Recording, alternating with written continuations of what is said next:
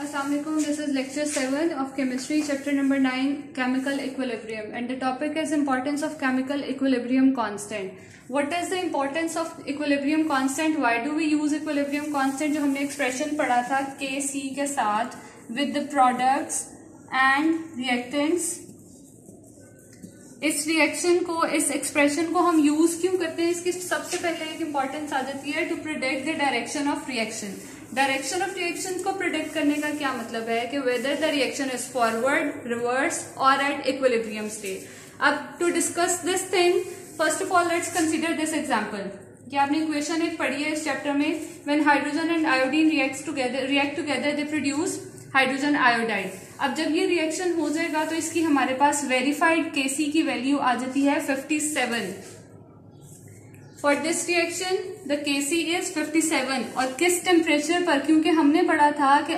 only only thing which has any effect on equilibrium constant is the temperature तो जब temperature change करेंगे तो आपके पास केसी की वैल्यू भी चेंज होती जाएगी। तो ये एक पर्टिकुलर टेम्परेचर है दैट इज़ 700 हंड्रेड कैलविन और इस टेम्परेचर के ऊपर केसी की value for this reaction is 57 इस पॉइंट पर जाकर इसमें इक्विलिब्रियम अटेन हो जाएगा मेंटेन हो जाएगा। अब कैसे हम डायरेक्शन ऑफ़ अ रिएक्शन को प्रोडिक्ट कर सकते हैं? इसके लिए एक एग्ज़ाम्पल लेते हैं कि सपोज़ मेरे पास एक टाइम है टी अब ये जो आपके पास सब्सक्रिप्ट में स्मॉल टी आ रहा है, इसका मतलब है कि किसी भी एक पर्टिकुलर टाइम पर रिएक्शन आपने स्टार्ट किया। आपने कोई टाइम नोट कर लिया कि on almost fifty seven seconds या आपने कोई टाइम नोट कर लिया एट वन ट्वेंटी सेकेंड्स या आपने कोई भी अपनी मर्ज़ी का टाइम पिक किया और उस टाइम के ऊपर आपने हाइड्रोजन की कंसेंट्रेशन इस रिएक्शन के अंदर फाइंड आउट की, जो आपका रिएक्शन मिक्सचर था, उसमें आपने फाइंड आउट की उसकी वैल्यू आई ज़ीरो पॉइंट वन मोल्स पर डेसीमीटर क्यूब या आपके पास हाइड्रोजन की कंसेंट्रेशन आ गई एट दैट पर्टिकुलर मोमेंट फिर उसी टाइम पर आपने आयोडीन की कंसेंट्रेशन को फाइंड किया then it came out to be zero point two moles पर डेसीमीटर क्यूब जब आपने हाइड्रोजन आयोडाइड जो इसका प्रोडक्ट था, उसकी कंसेंट्रेशन को फाइंड किया तो it came out to be 0.4 moles पर डेसीमीटर क्यूब अब ये तीनों आपके पास कंसेंट्रेशन आ गई. We can put the values of these three concentration in the final equilibrium constant अब जब हम किसी टाइम टी पर लेते हैं तो उसके लिए हम रिएक्शन क्वेश्चन का वर्ड यूज़ करते हैं. जब हम रिएक्शन क्वेश्चन के ऊपर क्यू सी जब हम रिएक्शन क्वेश्चन की वैल्यूज़ पुट करेंगे लाइक हाइड्रोजन आयोडाइड की कंसेंट्रेशन 0.4 वो आपने इंसर्ट कर दी आपने हाइड्रोजन की कंसेंट्रेशन 0.1 इंसर्ट कर दी 0.2 आयोडीन की कंसेंट्रेशन थी वो आपने इंसर्ट कर दी। जब आप इसको सॉल्व करोगे आंसर आपके पास आ रहा है एट अब ये याद रहे कि ये जो वैल्यूज़ थी, ये हमने किसी भी पर्टिकुलर टाइम पर ली हैं when the reaction was still going on जब रिएक्शन कंप्लीट हो गया था तब की बात नहीं हो रही। किसी भी पर्टिकुलर मोमेंट पर जब रिएक्शन अभी स्टार्ट हुआ, उस वक्त या उसके बाद किसी टाइम टी पर आपने इसकी कंसेंट्रेशन को विदड्रॉ करना है सैंपल्स में से। उस वजह से हम यहाँ पर reaction quotient Q C use कर रहे हैं। के सी यूज़ नहीं कर रहे यहाँ पर, क्योंकि के सी सिर्फ़ उस फॉर्म में यूज़ होगा जब आपके पास फाइनल इक्विलिब्रियम कांस्टेंट की वैल्यूज़ आ जाएँगी। रिएक्शन कंप्लीट हो जाएगा, तब आप इसको यूज़ करेंगे। अच्छा जब हमने इसको सॉल्व कर लिया आंसर आ गया आपके पास। एट अब एट के साथ यूनिट्स कोई क्यों नहीं है? क्योंकि इसके नंबर ऑफ़ मोल्स रिएक्शंस के रिएक्टेंट्स के और प्रोडक्ट्स के सेम थे। वन प्लस वन टू और ये वाले टू देवर बैलेंस्ड इस वजह से आपने इसके साथ कोई यूनिट नहीं लगाया कि आपके प्रीवियस लेक्चर की बात है। अब ये जो एट आपके पास आंसर आया, आना तो आपके पास 57 चाहिए था ना? अगर 57 होता तो हमें पता चलता कि रिएक्शन कंप्लीट हो गया था। इसमें इक्विलिब्रियम मेंटेन हो गया था। लेकिन एट था। अब eight is far less than fifty seven बहुत छोटा नंबर है फिफ्टी सेवन से। तो इस, इसका क्या मतलब हुआ? कि एट अगर फिफ्टी सेवन से छोटा है तो अभी रिएक्शन चलता जाएगा चलता जाएगा। कब तक? जब तक ये एट फिफ्टी सेवन नंबर को अचीव नहीं कर लेगा। जब ये एट फिफ्टी सेवन तक पहुँच जाएगा, तब ये रिएक्शन इक्विलिब्रियम कंडीशन में आ जाएगा। अब इस चीज़ से हमारे पास थ्री कंडीशंस आ जाती हैं। फ़र्स्ट ऑफ़ ऑल आपके पास आ जाती है when the value of QC is smaller than KC KC से लाइक like 57 से 8 बहुत छोटी वैल्यू थी। अगर QC की वैल्यू KC से बहुत छोटी होगी तो reaction will be forward reaction will move in the forward direction क्यों? क्योंकि उसने 8 से 57 तक जाना है तो उसके लिए उसको अभी रिएक्शन करना पड़ेगा। दूसरी कंडीशन आपके पास आ जाती है when the Qc is greater than Kc जब एक टाइम आया क्यूसी केसी से बहुत ग्रेटर हो गई अब क्या होगा? सपोज़ 57 थी तो यहाँ पर आपकी वैल्यू आ गई 60 या 67 सपोज़ आपके पास 67 वैल्यू आ गई क्यूसी की। तो जब क्यूसी की वैल्यू केसी से एक्सीड कर जाएगी, तब ये रिएक्शन रिवर्स डायरेक्शन में मूव करेगा। रिवर्स डायरेक्शन में क्यों मूव करेगा? क्योंकि इसने 67 से दोबारा वापस 57 की तरफ़ आना है।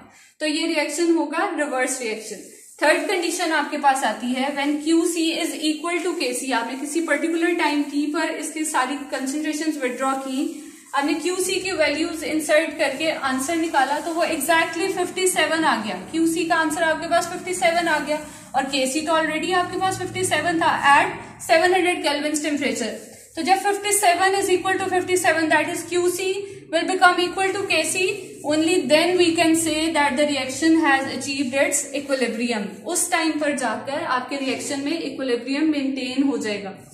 ये चीज़ आपके पास आती है कि आप किस तरह से डायरेक्शन ऑफ़ अ रिएक्शन को प्रिडिक्ट कर सकते हो।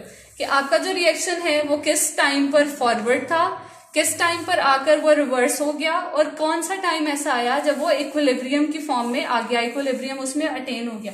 तो ये तीन कंडीशंस हैं। इसकी फ़र्स्ट पार्ट की how to protect the direction of a reaction second point of importance of equilibrium constant is constant is to predict the extent of a reaction extent of a reaction का क्या मतलब है कि किस हद तक कोई रिएक्शन होगा? कहाँ तक कोई रिएक्टेंट्स प्रोडक्ट्स में कन्वर्ट होंगे? या कितने प्रोडक्ट्स डिकम्पोज होकर रिएक्टेंट्स में जाएँगे? ये सारा आ जाता है आपके सेकंड पॉइंट में। अब इसके आगे से फर्दर थ्री पॉइंट्स आ जाते हैं। When the value of K C is large एक आपके पास ये आ जाएगा। Second is when the value of K C is small और थर्ड पॉइंट है when the numerical value of K C is neither small nor large ना ही वो ज़्यादा बहुत बड़ी है, ना ही वो बहुत कम है।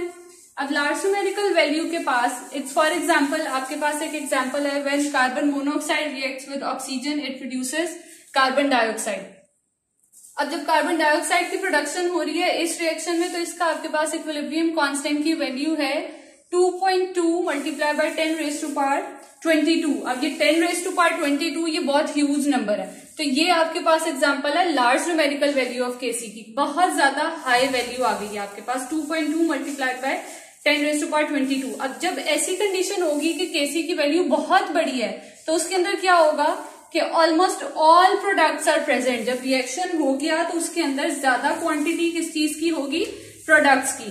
While the reactants will be negligible अब जब रिएक्टेंट्स बहुत कम रहते हैं निग्लिजिबल हैं बिल्कुल, और प्रोडक्ट्स बहुत सारे हैं तो इसके बाद हम ये कह सकते हैं ना कि the reaction has almost gone to completion तो जब ये ऐसी कंडीशन आएगी कि रिएक्टेंट्स बहुत कम हो गए प्रोडक्ट्स की क्वांटिटी बहुत ज़्यादा हो गई तो reaction has almost gone to completion और इसकी एग्ज़ाम्पल आपके पास ये कंसिडर होगी।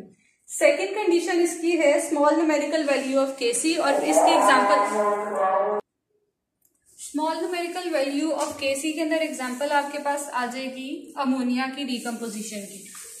This is an this is a reversible reaction अब इसके अंदर होगा क्या कि two molecules of ammonia they will decompose to form nitrogen and hydrogen अब इस रिएक्शन की केसी की वैल्यू आपके पास प्रोवाइडेड है। Three multiplied by ten raise to power minus nine अब ये माइनस नाइन जब आ गया तो इसका मतलब है कि ये वैल्यू बहुत छोटी चली गई है। जब ऐसी कंडीशन होगी कि आपके पास केसी की वैल्यू बहुत छोटी आएगी तो इसका मतलब है कि रिएक्टेंट्स की कन्वर्जन बहुत कम हुई है। यानी जो आपके पास रिएक्शन मिक्सचर है, उसके अंदर अब फ़र्स्ट कंडीशन से बिल्कुल ऑपोजिट चीज़ होगी। और क्या होगा कि रिएक्टेंट्स की कॉम्पोजिशन उसके अंदर ज़्यादा होगी और प्रोडक्ट्स उसके अंदर बहुत कम होंगे। जब ऐसी कंडीशन आएगी कि रिएक्टेंट ज़्यादा हो और प्रोडक्ट्स कम हो और रिएक्शन ने अपना इक्विलिब्रियम मेंटेन भी कर लिया है तो इसका मतलब है कि such reaction will never go to completion never go to completion कि उनका इक्विलिब्रियम बस वहीं पर रुक जाएगा, उसके आगे वो रिएक्शन फर्दर प्रोसीड नहीं करेगा। ये इसकी सेकेंड कंडीशन है। थर्ड कंडीशन इसकी है numerical value of Kc is neither small nor large इसके एग्ज़ाम्पल में we have nitrogen sorry we have N2O4 and its decomposition जब इसकी डिकम्पोजिशन होगी तो क्या प्रोड्यूस होगा? एनओ टू नाइट्रोजन डाइऑक्साइड अब यहाँ पर इसकी केसी की वैल्यू है 0.211 अब ये ना बहुत ज़्यादा है कि आपके पास इसके साथ 10 रेस टू पार 22 अटैच हुआ हो. ना ही बहुत कम है कि इसके साथ ten raise to power minus nine attach हुआ हो. बिल्कुल ये बैलेंस्ड है. ना ही बहुत बड़ी है, ना ही बहुत छोटी है. तो ऐसी कंडीशंस में क्या होगा कि कंपेरेबल अमाउंट्स प्रेजेंट होंगे रिएक्टेंट्स और प्रोडक्ट्स के।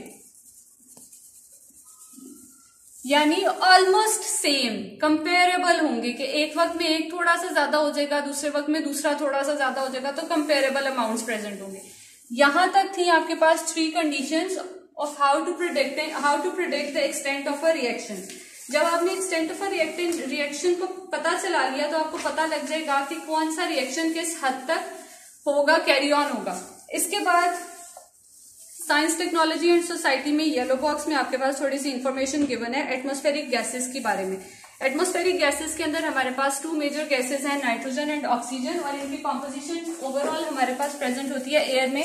99 परसेंट इस 99 परसेंट के अंदर नाइट्रोजन और ऑक्सीजन इतनी ज़्यादा क्यों प्रोवाइडेड है हमारे पास? इसकी बहुत सारी रीजन है। एक जो हम इंडस्ट्रियल स्केल पर इसकी इंपॉर्टेंस को देखते हैं तो नाइट्रोजन गैस आपके पास अमोनिया प्रोड्यूस करने में बहुत ज़्यादा हेल्पफुल होती है, क्योंकि अमोनिया का फॉर्मूला हमारे पास है एन एच थ्री अब एन एच थ्री के अंदर नाइट्रोजन आपको रिक्वायर्ड है। अब जब ये नाइट्रोजन से अमोनिया प्रोड्यूस हो जाता है तो इस अमोनिया को आगे हम फर्दर कहाँ पर यूज़ करते हैं? इससे हम नाइट्रोजनस फर्टिलाइजर्स को प्रोड्यूस करवाते हैं।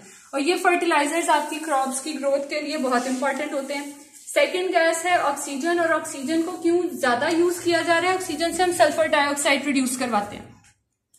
सल्फ़र डाइऑक्साइड गैस होती है और जब इस गैस को फर्दर हम रिएक्ट करवाते हैं तो इससे आपके पास king of chemicals sulphuric acid H two SO four produce करवाया जाता है। और फर्दर फिर सल्फ्यूरिक एसिड के बहुत सारे यूजेस आ जाते हैं, जिसको आप फर्दर यूज़ फर्दर आप इसको पढ़ते रहते हो।